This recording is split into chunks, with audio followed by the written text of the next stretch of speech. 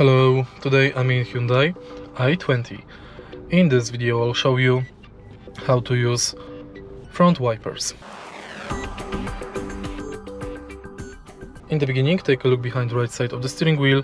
Right here we've got this lever.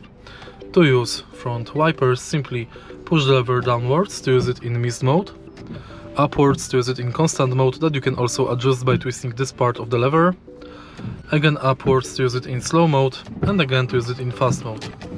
To disable front wipers select 0. If you find this video helpful, please leave like, comment and subscribe.